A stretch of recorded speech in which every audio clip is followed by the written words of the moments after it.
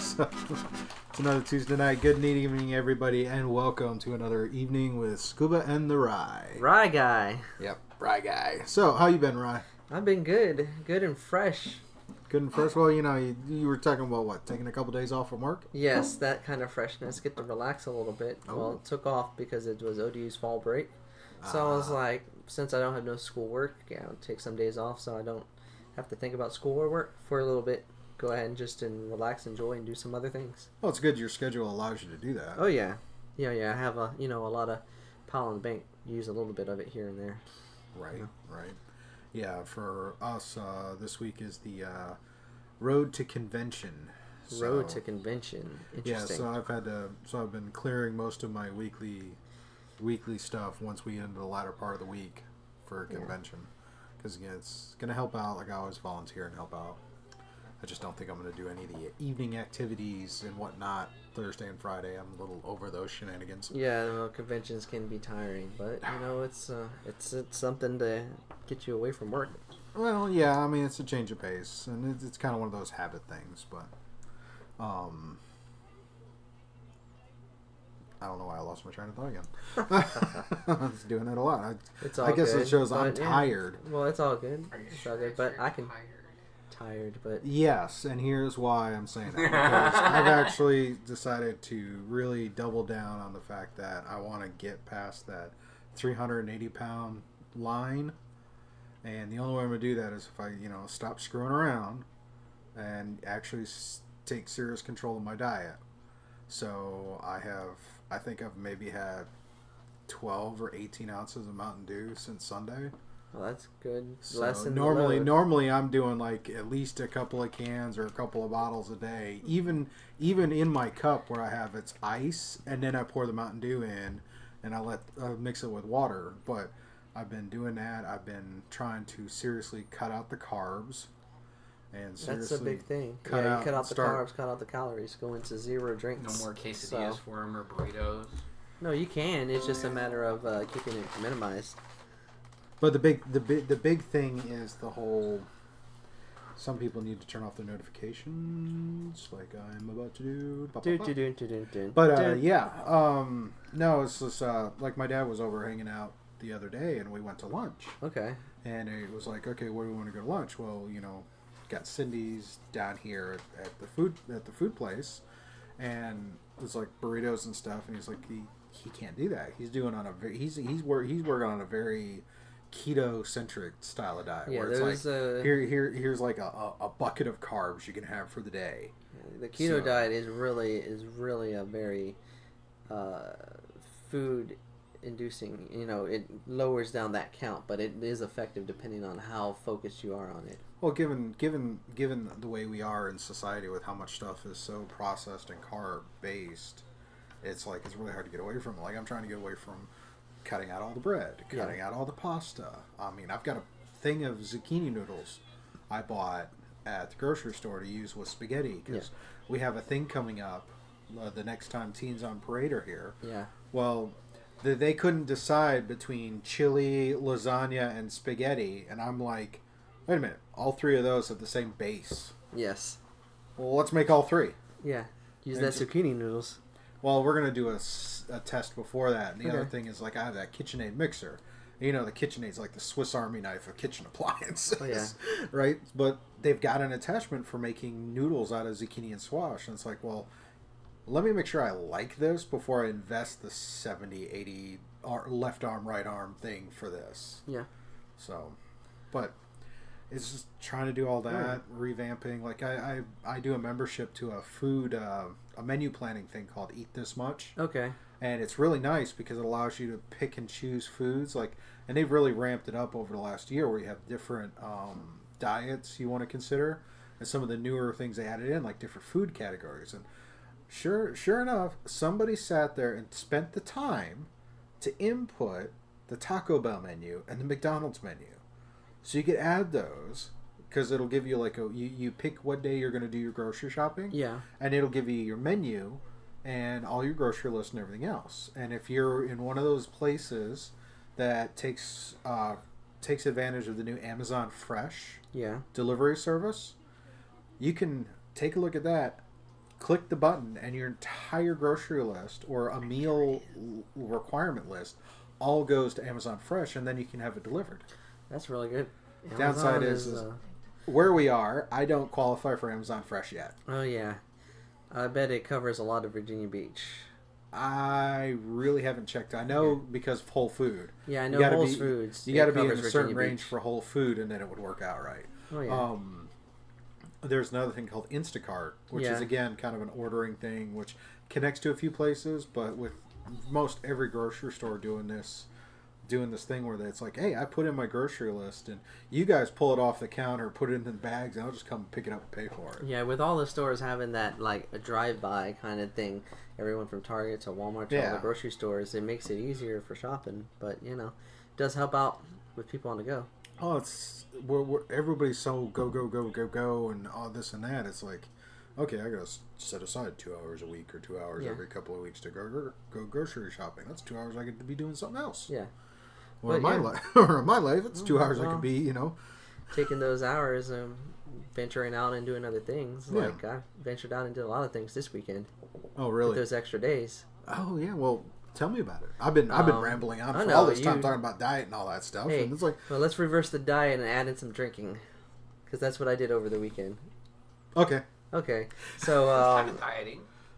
Oh yeah, I mean, I, I had 'Cause soup. if- I had I had a Depending on what you're drinking. Well, I mean, Actually, I went- there was a. I remember reading an article years ago.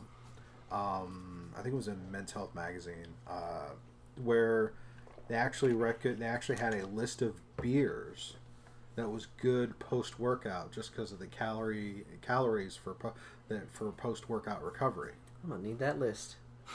I'm gonna do some searching.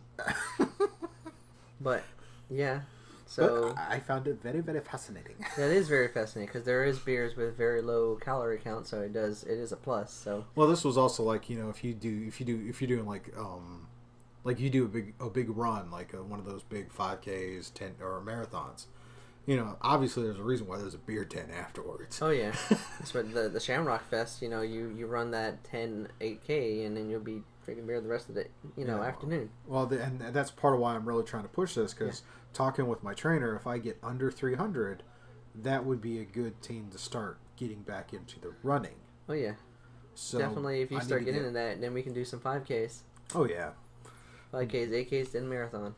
I still want to try and do an ultra. I don't know what that is, but it sounds really tiring. An ultra, uh, for anybody who wants to call me insane now, is a 100 mile trail run. I'll be a Yes. fan and a cheerleader for that one. See? I, I Well- talked to a couple of trainers. I would like to do an ultra. I'm good at distance. Yeah. I'm not good at sprinting. I am no sprinter. yeah, I'm more of a distance than sprinter too. I, I, I've gotten that runner high when I was active duty and actually ran like five, six, and I did do that eight mile one morning because I was bored out of my mind in Kuwait. Yeah. So I ran for eight miles on a broken foot, which probably didn't do me any good retrospectively. But hey, hey, all hindsight, you know, it's all 2020, hindsight. But yeah, it, I'd like to do an ultra because you know doing those kinds of those kinds. It, it's an alternative sport. Like obviously, I'm not a baseball player or a football player. But you still want to be able to do some things, running, jogging, jumping, whatever. Yeah, and the thing is, is there's a lot of prep that goes into it, a lot of support staff to do that because it's it's intense.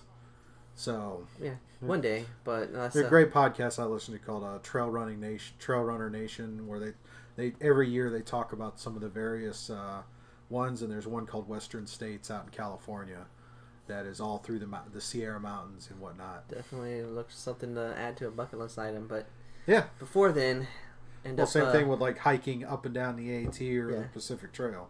yeah, do the five Ks, eight Ks, then maybe that hundred mile. But you got to work whatever. up because Yeah. you know you got to be able to do a full marathon, and then like, oh, I'm going to do a full marathon like three times. One day, one day. But until that day, spend most of the days drinking. On Saturday. All right, so yeah, it's, it's, I, I'm detracting from that. Tell me about your drinking. Well, um, it was pretty much all day drink fest because um, Saturday, um, Saturday was the Chesapeake Wine Fest. So right here down the street from not too far from your house, down at the city park. So they had a few vineyards from around the state there. So did a little bit of tasting, got a few bottles, Okay. and then right after that went to a farmhouse brewery to meet up with my cousins. oh, cool. So had a couple brews there. Where's Farmhouse Brewery? Farmhouse Brewery is the is the one. It's on Kempsville Road, Kempsville and Centerville. They renovated an old farmhouse. Back Bay uh, Back Bay Brewery renovated an old farmhouse and converted it, and it's called Farmhouse Brewery. So it's been there a little over a year, but it's really really popular. So it gets Oh, that's packed. actually not too far from here, so Oh, yeah. I, I- I would be willing to venture there. So that was the Saturday evening, Cool. and then the rest of the weekend just pretty much was just chilling and doing stuff. You know, football Monday. Um, went and did top golf once, in- you know, first time in a while. So that was kind of fun. I know G has always been trying to get us to go do that. Oh yeah, I'm, I'm always down. You just tell me when and wh- you know when, and I'll be there as long as I'm off. Someday. All right. But um, yeah. So that was pretty much everything in.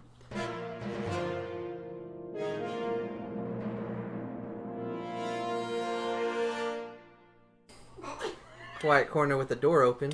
Well, you know, we're, we're in the tavern, so hey, it works out really well. It does. Grab your brew and go. Got a little escape. But all right. Tables and chats. Movies. What movie did we see this past weekend? This past weekend, I reviewed, watched, and reviewed the new Will Smith sci-fi spy thriller-ish film called Gemini Man, directed by Ang Lee.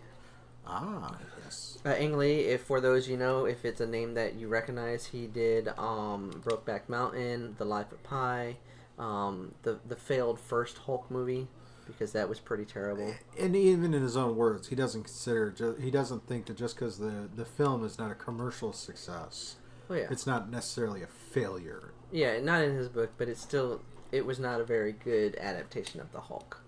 But his other two films, uh, uh, Brokeback Mountain, Life, Life of Pi, were very very great. Oh yeah. And the reason I bring that up because it lays the foundation for what kind of experience you will have for this film. Okay. Um, basically, what you have with with a director like Ang Lee, he's all about visuals and character. So what this film focuses on, it revolves around a man named Henry Brogan, which is Will Smith. Um, he's a hitman that works for the U.S. government. Um, he's on his uh, he does his last mission and decides to retire, but through um, circumstantial plot elements, they go they start to go after him, and they try to take out their best hitman ever in the history of the government.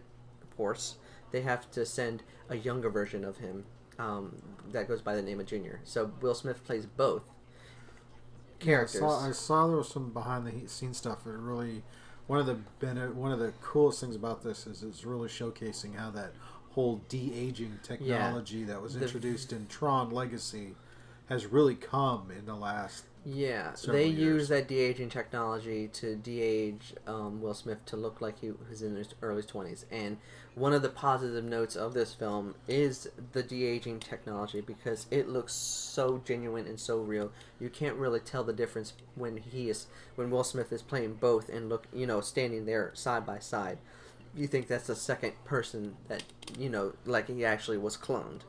So, um, what we have here after um, after you get introduced to both you know versions of Will, and then he's being chased down by the U.S. government and this younger version of self. Um, the film boils down to being a, a basic on-the-run spy thriller concept. So, a lot of the film revolves around Will Smith just dodging and weaving through different action sequences and fights, trying to stay alive because of this um, this younger self coming after him and this um, secret agency that's working for the U.S. government that wants to take him out because of for some whatever reason knowledge that he has about you know this is what they're something doing. they never really. They not really talk about and stuff. So Mm. this film when I start off the review, I focus on the fact that the, the great thing about cinema is um, is finding those films that are have an original concept, and this is mm-hmm. one of those films. With the with you know a year littered through remakes and rehashes and sequels, not every big film is one of those three, but a lot of films that are popular, a lot of people that navigate to are one of those three. Okay. So whenever there's an original film or something a little bit different, you know, an indie film, a rom com, you know, something that's a little bit different, I gravitate to it. I, I want to see. I want to experience. This is the kind of film people clamor for because people like to complain that there's nothing out there but sequels and remakes. But there there is. There's like Mm. an average of 600 films that get released every year. Not all 600 films are rehashes or remakes. So But when the, of those 600, yeah there's a finite percentage. yeah, there's that a finite The percentage. pulp culture is going to find, and Yeah. In that. So when you have a, a, a a big name director like Ang Lee and a big actor Will Smith that are pulling on the weeds of something original, you want to hope that it, it's good and great or succeeds. yeah, and from what I heard, this story, this script has been running around Hollywood for the better part of like a decade. Yeah, it's been running around, and you can definitely tell why because what outside of the great technology that's being used, the great you know cinematography and action scenes that happen at different parts of the film, um, what ruins this movie is the script itself. It is some of the worst dialogue I've heard in quite some time. Um, sequences don't match up. Uh, plot elements and development just don't make any sense when things happen. And the villain played by Clive Owen is the standard cookie cutter, um, you know, secret Mustache twirl. mustache, mustache twirling, you know, secret government agency man. So anytime he shows up on screen, it just makes you just cringe because it r- ruins the mood and the themes and the concept of what Will Smith is dealing with when he has to fight his younger self.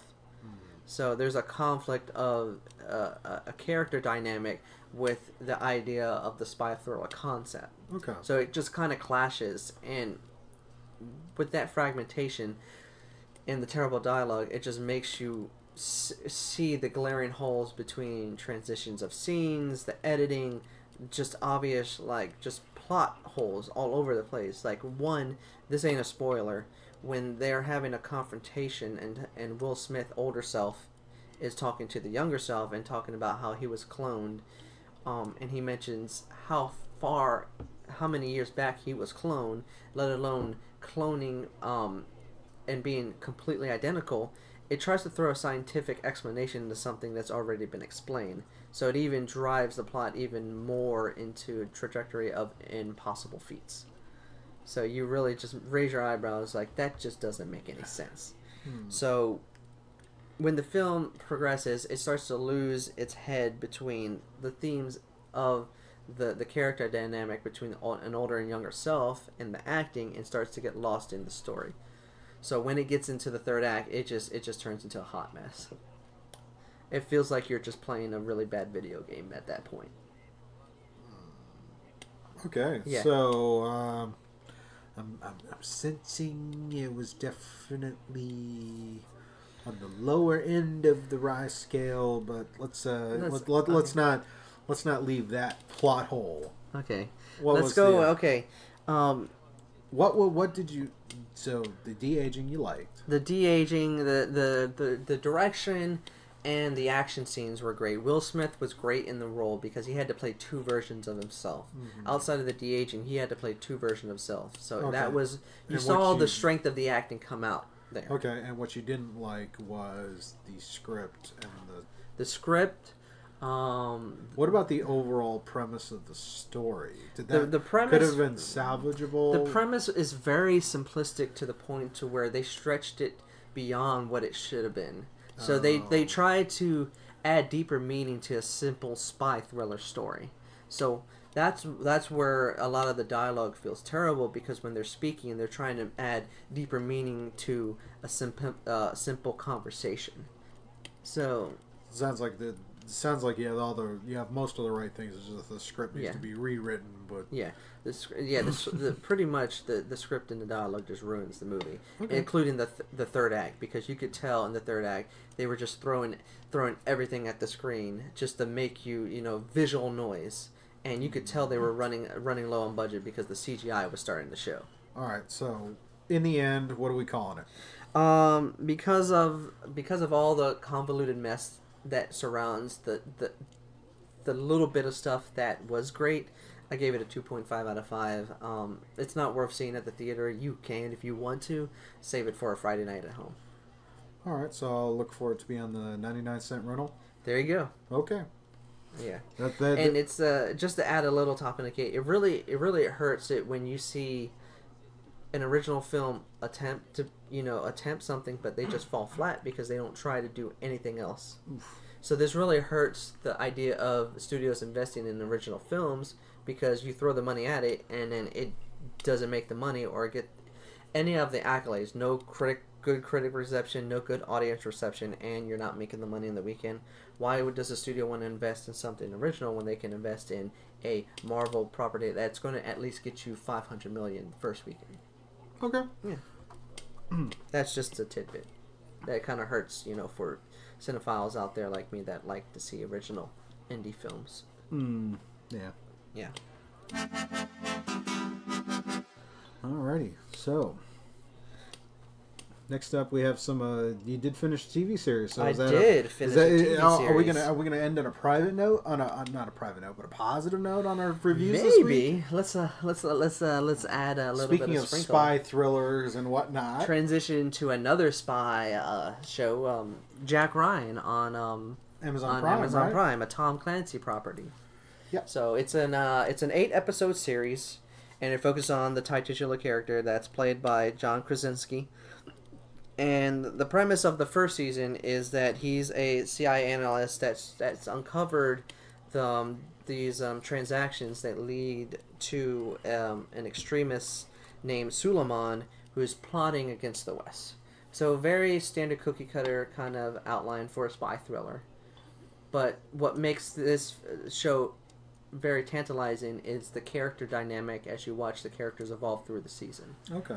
So as you watch Jack Ryan and the the enemy Suleiman, you watch their their characters evolve into their roles as both CIA agent and as the, the, the terrorist leader of this group from Syria. So what the show does, it focuses on the what and the why. Um, why are we trying to uncover the plot, and why is Suleiman doing these things against the West? And being a TV series, it allows more time for backstories to you know slowly lift the veil on both the characters and all the you know ancillary characters that surround them. So all the characters in the CIA, you know, CIA, um, the government, you know, some you know family members, some other terrorist people that work with Suleiman and his family. So you get to see a more human element to both sides. So it's not just the good versus bad. You see, you have a um, a hazing of morality between both because what you see from episode to episode with um, Jack Ryan being led by his um, um, his uh, director James Greer you you see a conflict of morality whereas Jack Ryan is very you know strong fast on doing the right thing where his director is you're going to have to bend the rules sometimes to get the information you need. So there's episodes where they have to get the they're trying to find where Suleiman is so they can capture him but if they go by the book they're not going to find him. So there's a few episodes where they go beyond the book to get the information they need to find this guy to uncover the plot before he sets off a bomb in uh, the United States. Okay. Well, the, I mean, this is a pretty uh, heavy franchise. Yeah, it's a pretty heavy franchise, so it has a very his, it has a lot of history because of the books and previous you know films that been that are part of the series. So, what I liked about it is the the, the world building, the character depth that you give to both sides, and the understanding that morality is is is a choice regardless of which side you're on. Okay. I like that. I like Yeah. how Amazon's really kind of nailing this Yeah. series. With, So it really makes that. you, especially like like going back to like the boys, you know, it get, puts that morality choice on what is a hero. So it does the same thing here, where you know it puts a morality choice as like yes, uh, the United States and the West are trying to stop you know bad things from happening, but why are these people doing this? And that's what that's the element that is missing from a lot of very standard action films. When they do the bad guys, they just make them the bad guys. But why? This series, with it being eight episodes, it gives them enough time to um, explain that why. Okay. And there is a reason why, and it makes you kind of, kind of, kind of just think back to you know decisions that people make in the past, and like re- the reason they are doing this is because you did that 10, 20 years ago. Okay. So what would you? So what's our rating for this Okay. one? Um, based on that, um, um, since it is a spy thriller, there's a very it's a very um, systematic way of how it does things. So there's Mhm. a very there's a lot of like last second saves, um, unforeseen twists that happen. You know, the the bad guy always escapes until the very end, and then eventually they get caught. You know, red-handed. So because of the some of the little standardness that happen, I would give it a four out of five Okay. because it is a very good series. Um, but you know, but it's not. It's so not. if you have it's Amazon, not beyond. if you have. Amazon Prime, I would recommend watching it. I would recommend watching it for anybody that's a fan of good spy thrillers and good character character drama f- Okay. stories because that's what it does. So definitely, Alright. um, and season two is about to drop. So Oh yeah, you're all caught up, ready for the yeah, I'm ready. now. That's another reason I try to steam pass through this. So gotcha. there's a few more series down the pipeline, so hopefully I'll have another series or two to talk about. Alrighty, so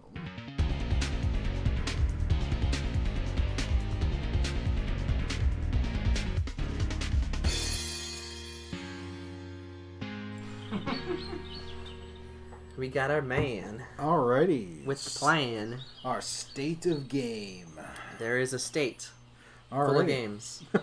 Well, we'll kick this off with uh, video game up story progression updates, and that's all you right now because Okay. I haven't done. it. Yeah, I, I'm uh, still trying to find a day to video game, but Oh yeah. Um, still working my way through Borderlands 3, still having where fun you at? a lifetime. where are you at now in the story? Um, right now I had to take out some. I had to get the the, the second of. Uh, there's three artifacts you have to get. I've Mhm. gotten the second one, so I've done that, and I've done a few side missions. So I haven't really progressed the main story yet. I did the side mission so I can get more weapons okay. because anybody that plays Borderlands knows it's all about the weapons. Oh yeah. So yeah, I got some uh, some some really awesome weapons now. I have this pistol that shoots radiation bullets. So yeah, so when you're shooting the radiation bullets, it just overcharges the people. So they not only like they get hit damage from the bullet, but it's you know over time, they they they blow up and die. Um, and I also have um, a um, an ass- assault rifle that shoots electricity. Ooh, cool. No, uh, rephrase that. Not just shoot electricity, but it flips between assault rifle and shotgun mode. So yes, I'm looking forward to using that gun out on the battlefield. Oh lordy. So I'm slowly progressing through the story of Borderlands 3. So the next thing is to go after that third artifact. Um, I'm also playing Division 2. Uh, started playing that with uh, with my brother. So I'm coaching him through because uh, he hasn't played the game in a while. So he has to get used to all the mechanics. Yeah. So, doing that, and also I wanted to get a touch on the racing side, so I decided to play a little for Forza Horizon Four. what do you think of it? So far, I haven't gotten too far, but I can tell you that the weather dynamics is legit in that game. So, It's I'm great. looking forward to seeing how bad I drive in the snow. Whenever I have to drive in the snow.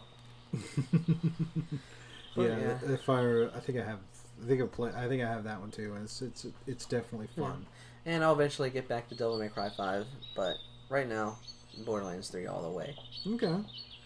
Well, for me, I've uh, a couple of. I didn't get any video game time in, aside from uh, some mobile games, uh, which is just you know wasting time while I'm waiting on something to get done.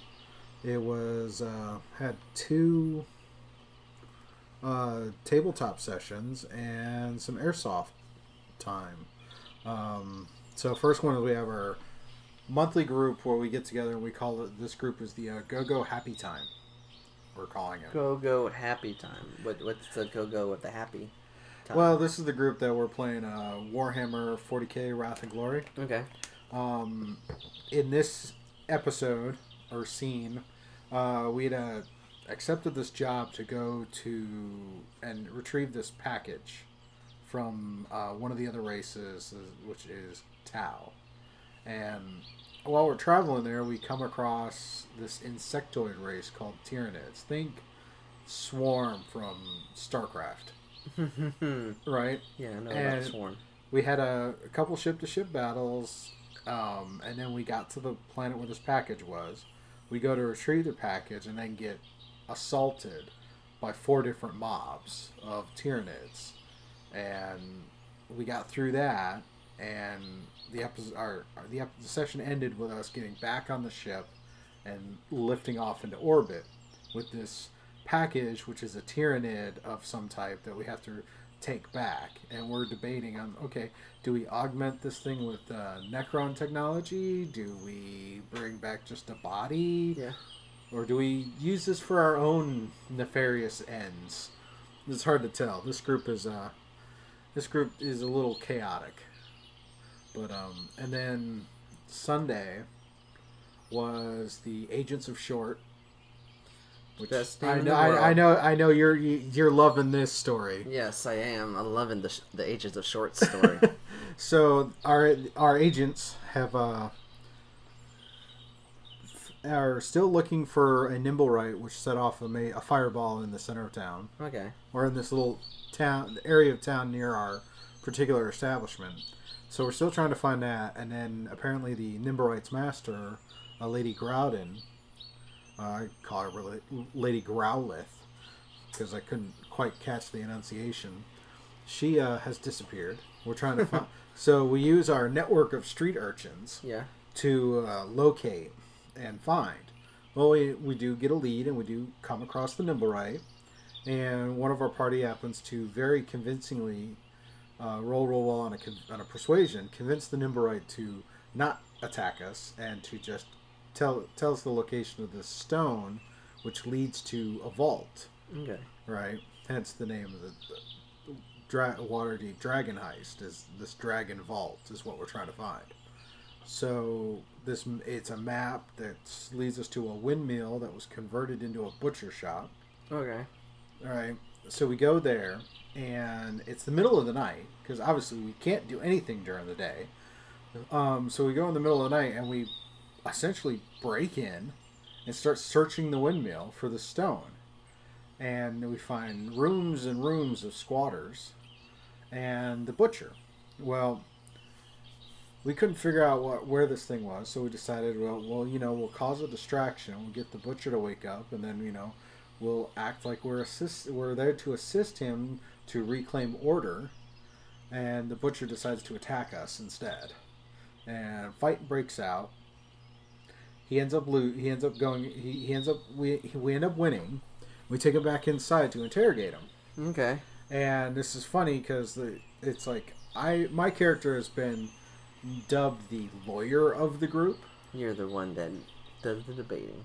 Oh, that and it's like it's some of the things I've said I've said to try and get us out of situations. The D uh, Penumbra has been like, that's really good. Uh, yeah, and then we're looking at the Acquisitions Incorporated stuff, and there's a subclass called the Documancer. Okay. And this is that person that handles all the documents, all the contracts, Okay. everything.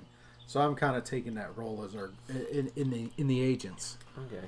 So we now have a new lead, which we're going to track down in our next session. Okay.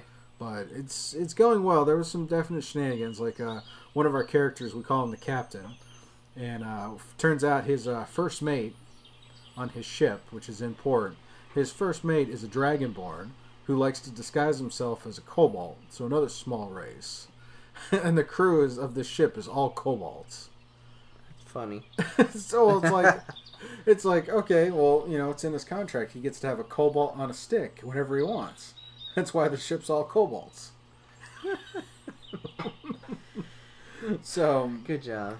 yeah the hilarity ensues with that um, and then sunday or before agents of short sunday i actually went out to Ballahack, and instead of marshaling or chrono or doing any of that i actually played Running and gunning. I did. Uh, definitely the the working on the running part, but definitely it was uh, Moving and gunning.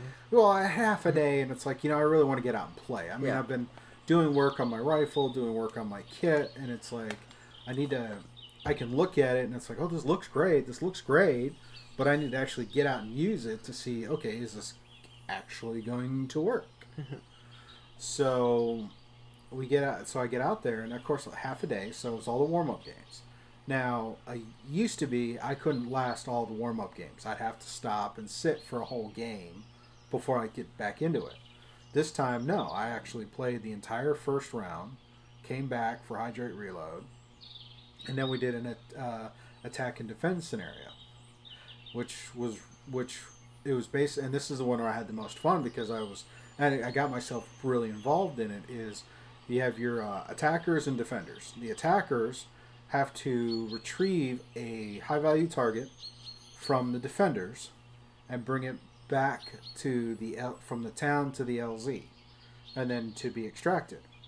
Well, when I went with the defending side, we got out to town, and then the, the GA asked, "Okay, who's gonna? We need to have someone be the HVT." Okay.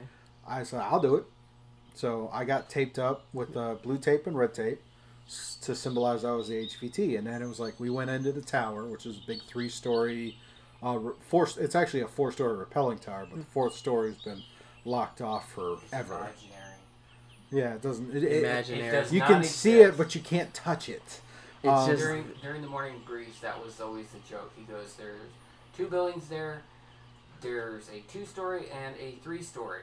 And someone, of course, raised their hand, but it's four-story. He goes, "That is just imaginary. You do not see that. It does not exist." It's a really cool rappelling tower, but that's cool. But yeah, so I went up. I was in the third story, third story of the tower, and that's where I hung out. And we actually held our own for the majority of the game. At the last fifteen minutes or so, the attackers found me, and the, one of the attackers actually shot me in the back, and then realized I was the target. So it was walk me down because you can't heal in the tower. Walk me down out of the tower, and then I had to, and then pretty much we jogged, or as the best of my ability, jogged back to the LZ Okay. for the extraction. But it was really fun because I was really involved and I actually got some good gameplay. That's One of good. the we had a force on force where everybody had to try and take the Escher, which is the two story building.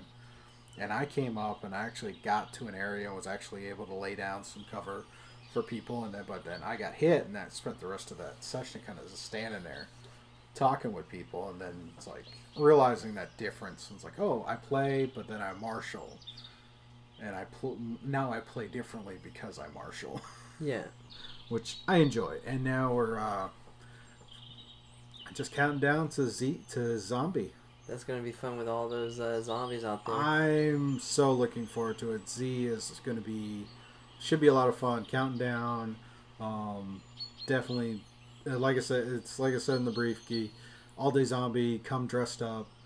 If you and and getting hit isn't so bad because again these wep- the, the stuff out there isn't terrible, but just to have people you know come out and bring out their best zombie kind of regalia. It's like should be a lot of fun.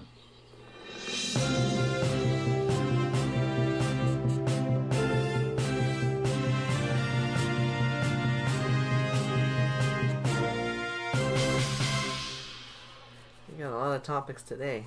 A lot of random ones. All Not well- randoms, but some big some big ones. Well, the first thing is we'll get into our get into our. We got a couple of new couple of news things, so want to do our new. We'll, we'll go through those, and the first one is hot off the press Hot, sizzling.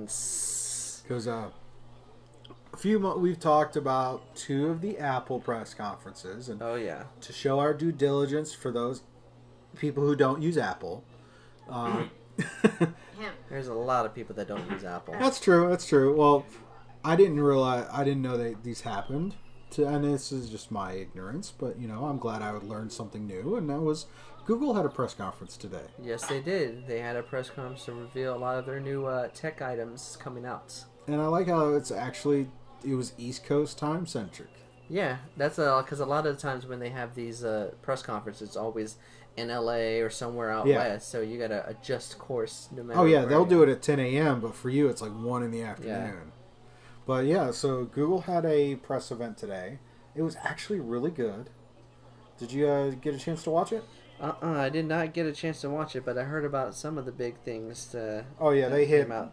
They talked about the all of their new stuff, um, and of course, one of the big announcements was the Google Pixel 4 phone, which has some and some interesting new tech to it. So, um, what are some of the interesting tech that you heard out of the conference for that? Oh, probably the most fascinating thing to me is this is uh, the first phone with a built-in uh, radar element to it. And radar is uh, tracking of some sort. Mm-hmm. Okay. Just, just just radar in its simplest definition is what you're thinking, because a lot of the new like the the Google the uh, Nest devices like obviously I do for my house I do a lot of the uh, Amazon Yeah. devices. Well, there's a an Amazon device where it's like basically a, a screen um, that you can that you can watch videos on and interact with. Well, Google had made something similar. Uh, it's all in their new Nest uh, Nest devices.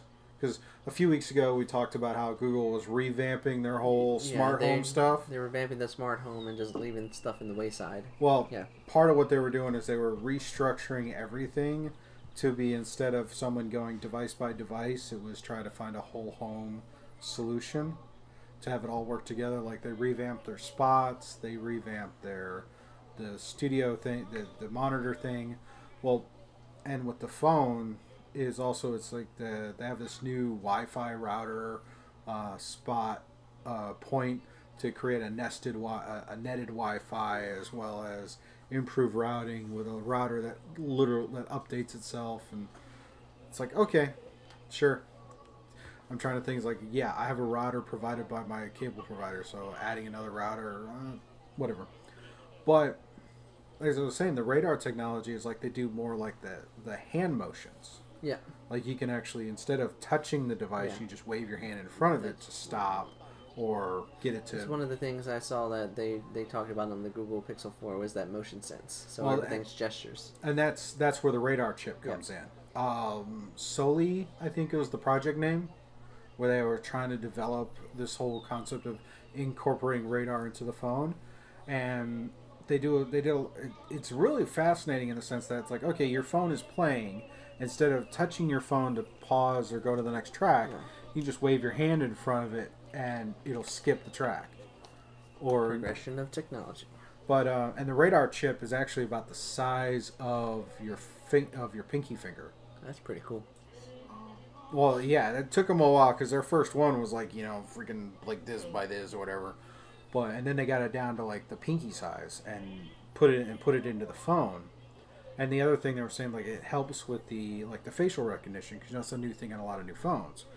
Well, you have to in order to use to use that you got to pick up the phone, tap the screen to get it to start booting up. Well, with this radar chip and this whole motion just- sense it- technology, It just senses it. the minute you get your hand gets close to the phone to pick it up, it's already spooling up those things to do that. So that I think is going to be interesting. Um, they have some uh, did do some camera revamp. yeah. Um, one of the nice things with the press conference, they had a professional photographer they gave the Pixel to, and let her kind of play with it. But uh, they they went with uh, they have a couple of cameras in there, and they focused more on the telephoto lens. And then we were talking about how they upgraded the camera technology and the like the like when you set your pictures, like they have the HDR setting and whatever. Well, so some of the limitations with current HDR is when you go and you're setting up your shot, and your shot's going to look different because this, your your viewfinder isn't rendering it in the HDR. Well, with the Pixel 4, it will render HDR before you as you compose your Yeah. shot. hmm One of the one of the tidbits pulled out here from IGN's article, they said the pinch zooming provides a clearer image than cropping the same image zoomed out, which builds upon upon that you know improvement with the camera zooms and stuff yeah, he was a, just actually guy focused a lot on that. He actually sat there and says, like, look, as you're composing the shot, pinch and zoom, you'll get a higher resolution picture. Okay. And also, uh, they have some decent price points for this. Uh, I don't remember catching okay. them, so what did you say? So Pixel 4 uh, for the 64 gig is um, is uh, 7.99 and so Pixel 4 Oh, that was uh, a. Somebody came walking in. That bard, man, where's that bard at? I need some of that drinking right there, but no, he's sitting there. Oof, Ooh, bards. let's uh, play the rewind button. Uh, Pixel 4, uh, 64 gigabyte, going to be 799. 128 gigabyte, 899. The Pixel 4 XL, the 64 is going to be 899, and the 128 is going to be 999. So hmm. decent you know. But you're gonna- 128 gig though. Yeah. I mean, I would I would stick with the four. I don't like the bigger phones. So if I were to get a Pixel, I'd probably get that that that maybe that 128 because it'd be the same size of my Galaxy S9. I figured it would have been like up in the, the higher memory. Oh yeah, but it is a the the one thing that Google ha- has is like anything you save, store, uh, it can go right up to the cloud Oh, automatically. So right to your Google Drive, everything saved straight to your Google Drive. Well, Apple does that too with their iCloud Okay. drive, so There's um it seems to be pretty standard tech. an- another big thing from the Hmm. Google press conference. They talked about their uh, pseudo game system. Yes, So they did uh they did reveal Stadia. they did reveal a release date for the Founders Edition. Um, as reported on IGN, November 19th, 2019. So next month, you'll be able to get your hands on Google Stadia if uh, the Founders Edition.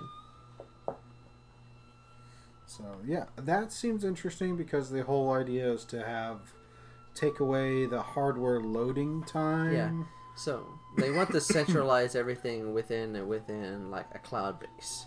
So what Google is Google is trying to do is get you know try to do something completely different than what the, the, the main market is out there with the you know you have Microsoft, Sony, Nintendo.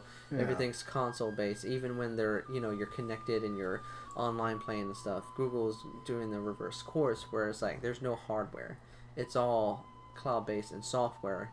You just pay for access. It's a browser plugin, and you'll have access supposedly to a lot of these HD games. So everything from like um, Red Dead Redemption 2 to Mortal Kombat 11. One of the prime games that they're getting next year is Cyberpunk 2077. So they're hoping to book on that one. Well, you know, uh, this sounds really great. Uh, I- yeah. I, don't want to. I don't want to take it. It does sound really. It great. sounds great, but I've given my opinion on this a while back on the podcast, and I still think that it's going to be a hard sell for a lot of people that have already invested time and money into either Microsoft, Sony, and even PC Master Race. You have a lot of you have a chunk of gamers in all this, so maybe they're trying to wedge their their name into maybe that that casual gamer market that doesn't want to invest so much, so they can just pay for this and grab the controller and go because it's browser based. Yeah, I I, I think, and I one of the things I think is just this sounds really good until you run into the fact that this is relying on a connection to a server, Yes. which means varying ISPs, varying quality of signal, and then not so much just Google servers, but also the local servers for the ISP that route the traffic back and forth. So I think there are some elements there that while this sounds really good, this is something that I think he needs to take into account. I don't know if you're going to get quite as good a performance as they're advertising. Yeah, they're really they're really aiming big with it. I mean, cloud based is great, except and as long as the connection is solid. Would you agree? Mm-hmm. I mean, you you do a lot of stuff with hosting and whatever. It's like ho- hosting's great, Yeah. but if your connection's crap, But the one thing is you're paying for the subscription and then you're also paying for the games. It's not completely free.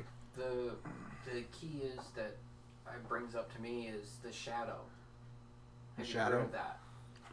Um, shadow boxes or shadow, I believe it's called Shadow. I cannot remember the exact name of them, but it's a company. What they do is they have a server farm out in someplace, and what you do is you get this little box, a little square box. They send it to your house. You hook it up to your monitor and keyboard and everything, and that connects to your box that's in their oh, I've heard of farm. that. I remember hearing about that. Now it's the same thing.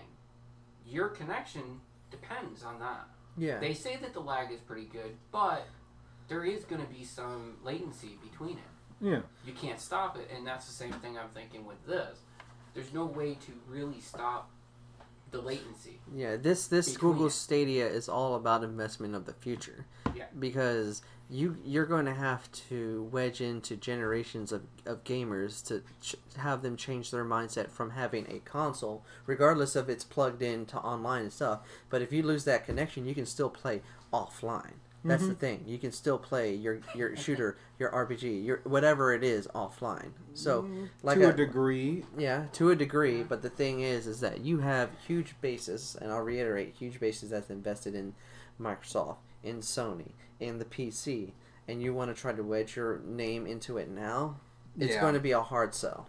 Yeah, I agree, and but it's something I think there's one of the beauty of beauty of competition and, and the market we have is we will see Yeah. how this goes. I mean, Competition helps. Steam tried the same thing, similar. They tried a very similar, if not same thing, with their Steam box, and that didn't. It well, their Steam box, to be clarified, is not a cloud based.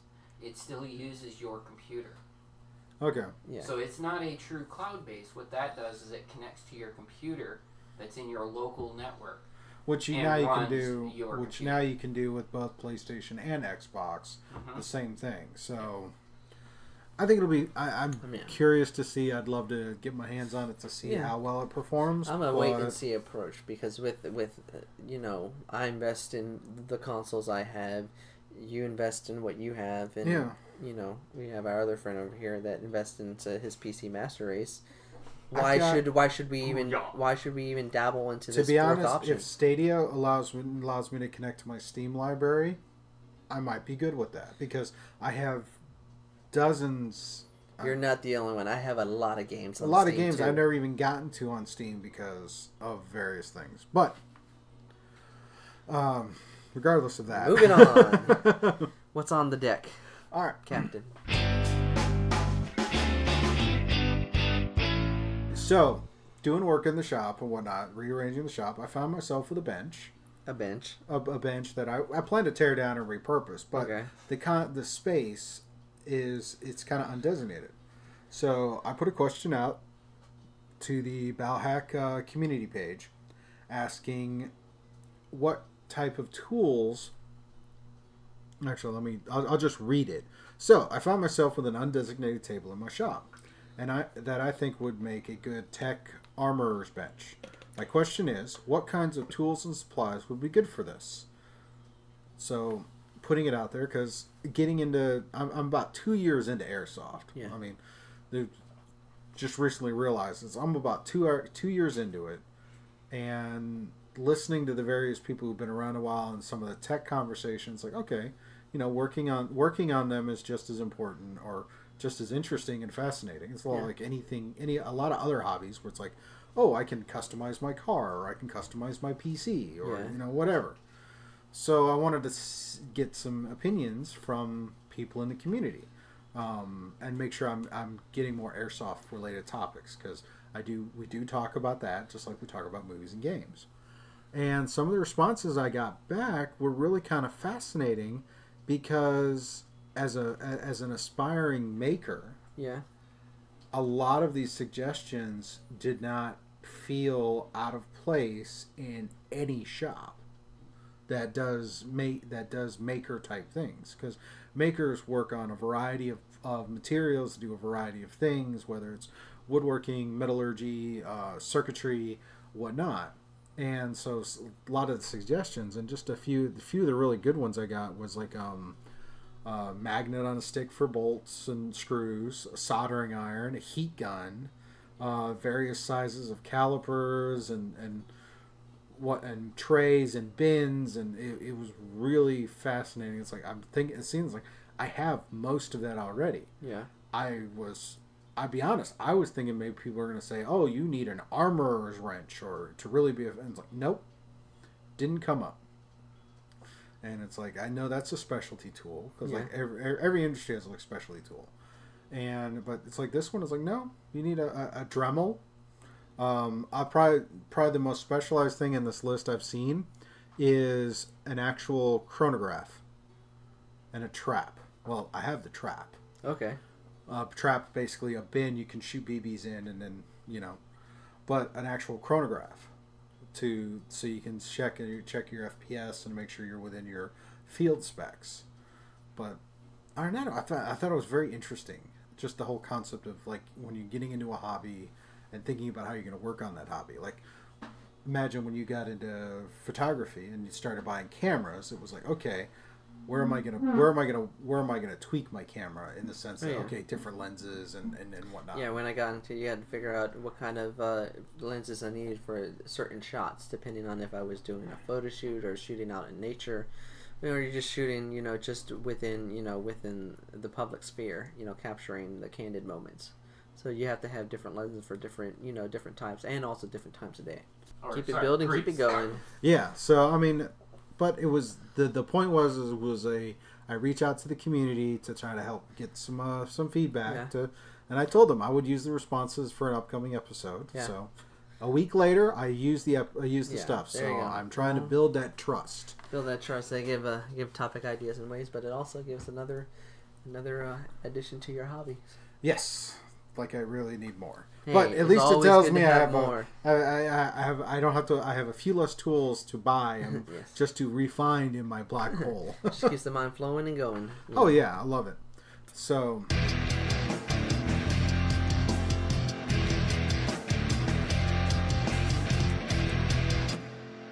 Lots of oddities.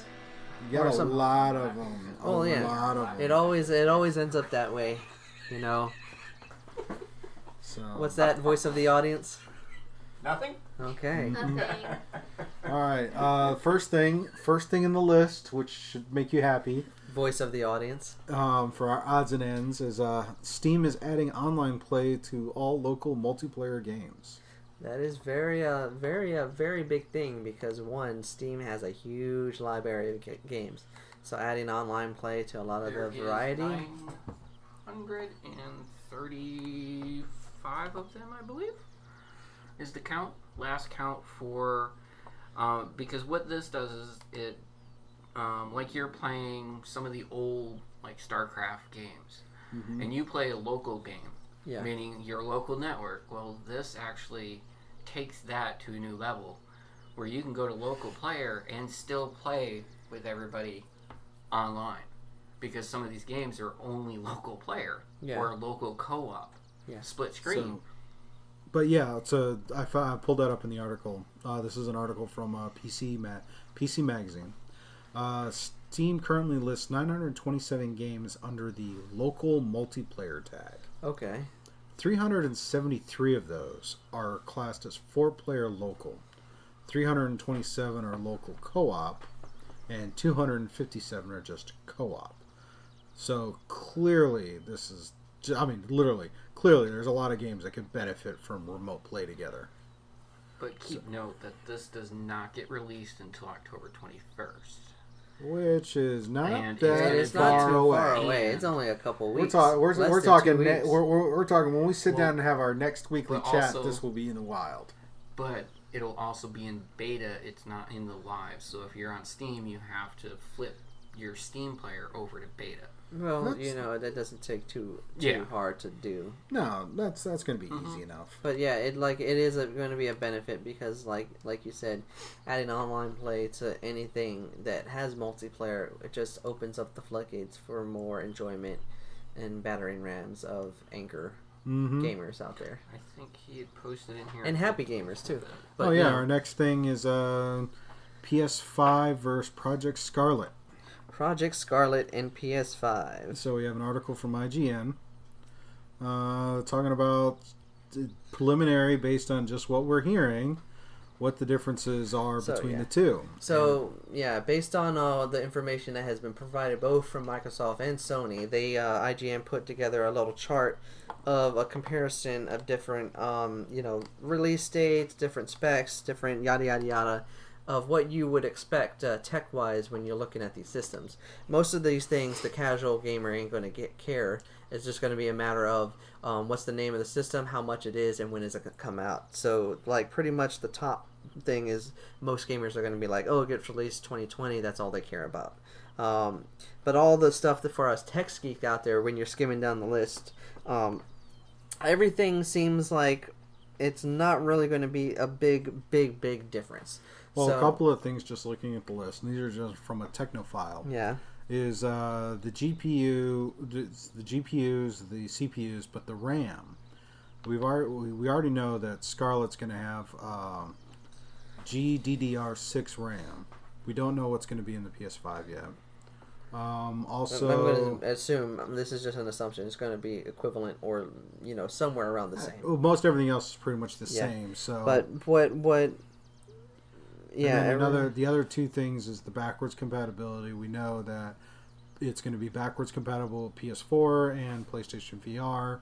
Um, Scarlett, we don't know how far back uh, it'll be compatible. Nothing's been really not not everything's been confirmed. Yeah, it's never And it's not been concrete, but they've said that they're going all the way back to OG Xbox. They Well- just don't know how many games. Yeah, and then we have our streaming game service. Yeah. There's the Xbox Project xCloud, and then we do, and then replo- remote play to be announced.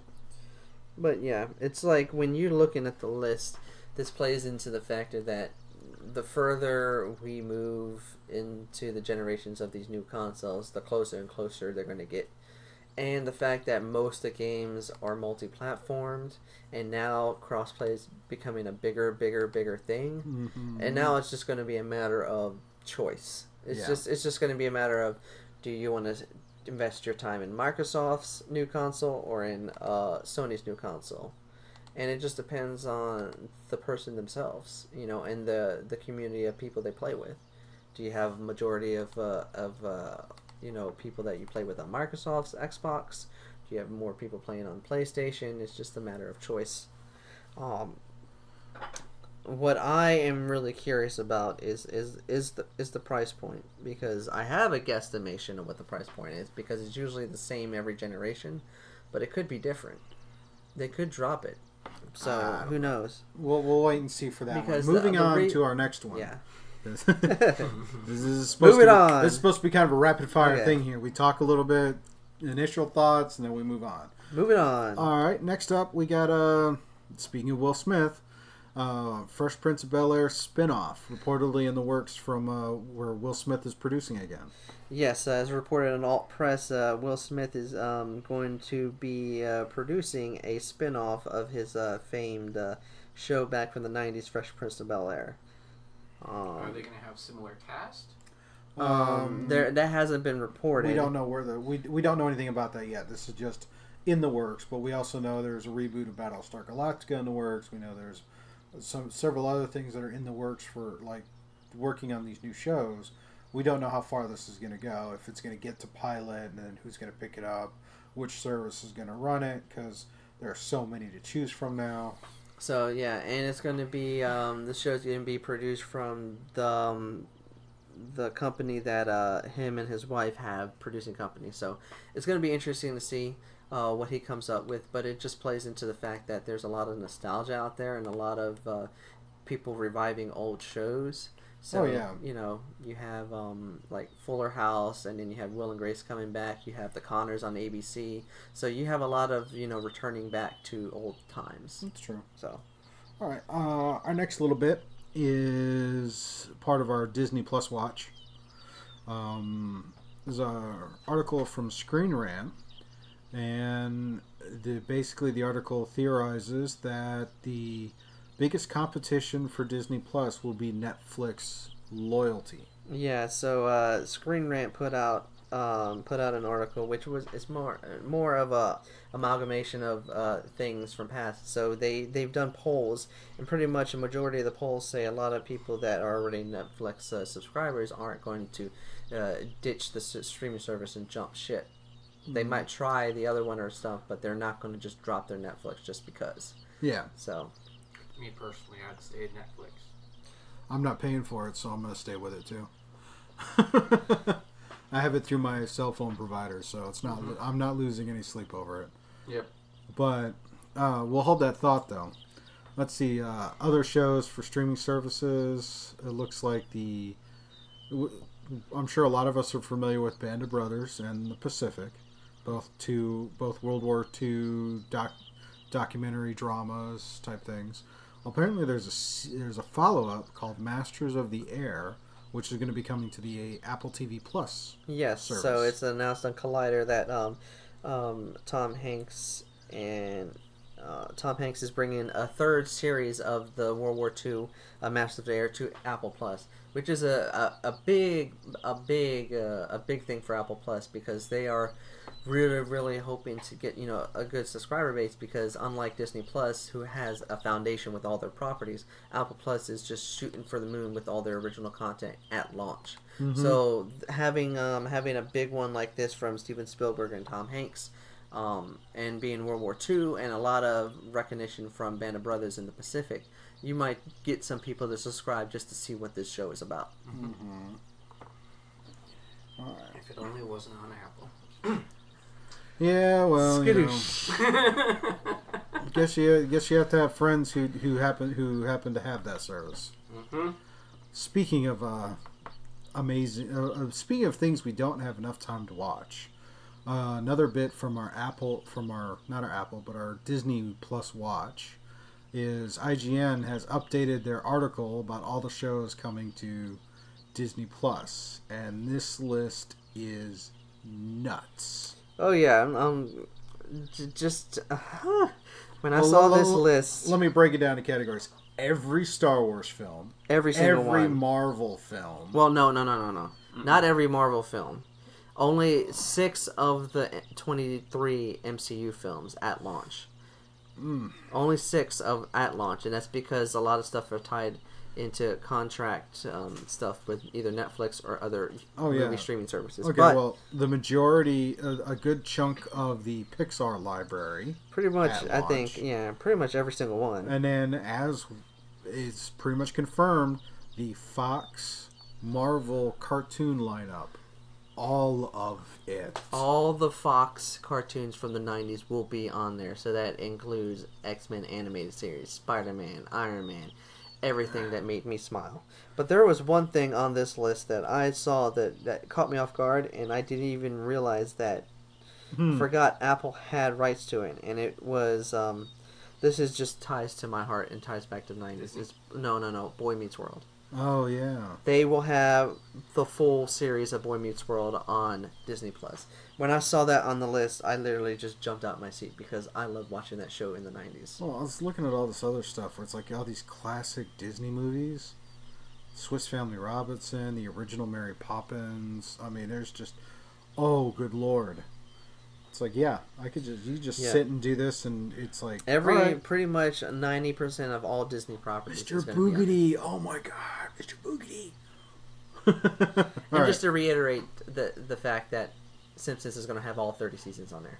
yeah, Mr. Boogity's on there. I'm good. The Simpsons.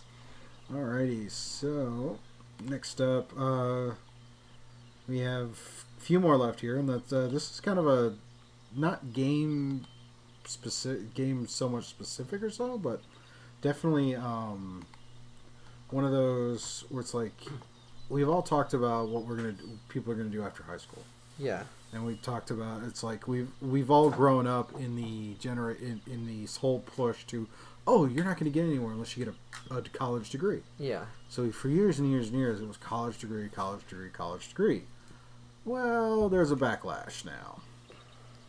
And in this article from PBS. PBS, PBS was uh, basically highlighting that California is going to be investing several million dollars into their vocational schools to try and curb the stigma that vocational about vocational schools because of the last two decades of pushing everybody to college. Yeah, so it, based on the article from PBS, they said that California is spending six million on a campaign to revive the reputation of the vocational education and two hundred million to improve the delivery of it. And quote, "It's a cultural rebuild," unquote. Well, I think it's really good because you know things like the Mike Rowe Foundation Yeah. and whatnot, and it, being someone who is has a trade background, Yeah, I'm ex- I like this because even I saw in my time as a trade, yeah, n- a new influx of people into the trades is not something you're seeing. yeah. It, it's, It's- like it's either all of the jobs are going to third party, third country nationals, who are coming over and doing these these trade things, or it's the youth are no, they want nothing to do with a trade job because they don't think a trade job is going to be of any value No. when there are trade jobs that pay better than Yeah. quote unquote college jobs. Yeah, it's it's an amalgamation of a lot of things that factor. You have globalization. You have a different generation that's built on the mindset of uh, image and self indulgence over the fact that you could get this this trade job that gives you three times as much money than just working at an office nine to five every day. hmm But you know, it it goes to show that people aren't actually looking at fit and value over more so than image. Hmm because they think that you have to go to college, you have to go to here, you have to do that, but you don't. When you leave high school, you have a plethora of choices, and trade school is one of them, and it should be one that should be highlighted as an equal value to college, to military, to everything in between hmm because when it comes when it comes to show it's all about finding your place in society in this world but also finding a way to make money for the future Oh yeah, and you have to have all those things. You- and even a even a quote unquote college Yeah. job still going to require access to a tradesman Yeah. to do certain things because a computer programmer is not going to know how to to Yeah. re-drywall a house oh yeah or fix a or not necessarily fix a pipe. Granted, YouTube can teach you a lot of things, but there is still a level of knowledge you get from a trade that you're not going to get from a YouTube video. and basically And with the YouTube videos are coming from tradespeople. Yeah.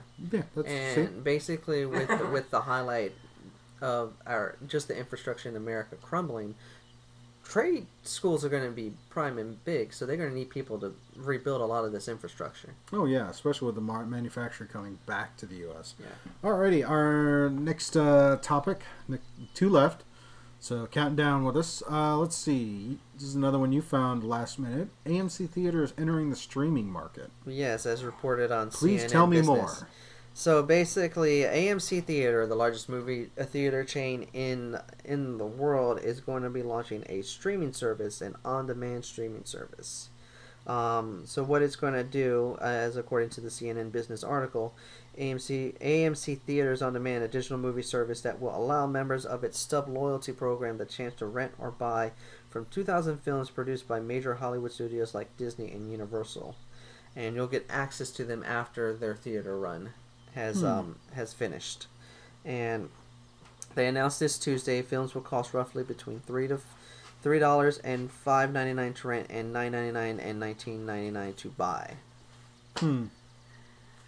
All right, so just another avenue to purchase films. Oh yeah, so it just uh, builds upon the fact that um, with the evolution of streaming, everybody's trying to get into the market. Oh Even yeah. the movie theater changed. As if 900 channels on TV ain't bad enough. Now we got 980 channels if you Hey. count streaming. Options are options. All right. Our last uh, item for the evening happens to be a congratulatories, and again, Marvel. Applause to this man. Oh yes.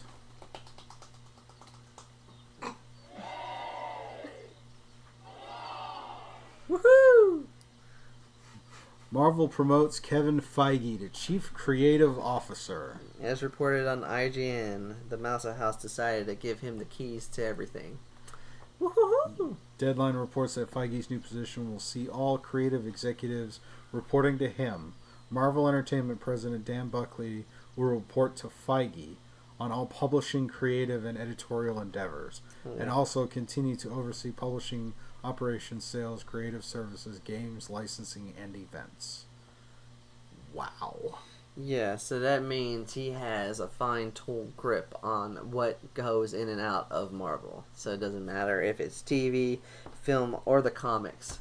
He has the final say on everything. That's just nuts. But that just goes to show and a testament to his hard work in building the MCU. Oh, because Oh, yeah. out of just that 10, 11 years, that is a feat that I believe will not happen again. Because that, that kind of storytelling and that kind of just managing those projects, let alone keeping The everything, links. the length The link, and the tie. yeah, the tying them all together is what that That's, that was amazing Yeah. because even in the earlier movies, they already had the plan of the end. Yeah. So you've seen the little bits in the beginning of these movies, but you really didn't catch on to it. You had a hint, and then when you watched the last movie, you're like, "Oh, that's what Yeah. that was." You a lot of tie-ins. caught the hint A lot of after. tie-ins. Yeah. So it just goes to show that he has a good creative mind because, mm-hmm. like the voice of the audience said, um, you have to when you write a story or write anything, you have to plot the end. You have to plot the tie-ins, not the not the gut. So if you have the pinpoints of everything, then you can link it in. All right. And with that, we will uh, go ahead and uh, transition over to Patreon bonus. Um, Skadoosh. before we do that, we gotta go. We'll go through and do our contact info. And uh, again, a shout out to Syrinscape for the backgrounds and soundboards. Lead us off on their contact info this time. Contact info. You can find me at inst- uh, Instagram at incubustrav. Message me, like me, send me an invite. All right, you can find me on Twitter at SavanCod, and you can also find uh, the studio. You can reach out to the studio through Facebook slash Scuba Studio, and if you do like you like the show and you want to show some more support, we do have a Patreon. It's uh, patreon.com slash Scuba Studio. Feel free to be a Patreon. Patreon members get additional content in the episodes as well as, depending on the level you subscribe at, creative input on what stuff we're working on, working on what other shows we've got in development right now. Because Yeah. there is more than one. I'm working on it. There can, uh, yeah. Yeah. There can be more than one. Yes, and one of those things we're working on is actually streaming this uh, show as well as putting videos, weekly videos up on uh, YouTube for it. Hopefully, we can get that going. Yes, there's definitely some tech upgrades with that, but you know, got some friends who are willing to jump in and help build this project. Much appreciated. Thank you, thank you. Cats hate you. Yeah, well, you know, I babysit them once a year, so they'll get over it. Yeah. Meow. All right, I think that's uh, we're gonna definitely call it a night for there. Um, so thank you for sticking with us. Thank you for listening. Y'all have a great evening, and uh, we'll catch you next week. Peace.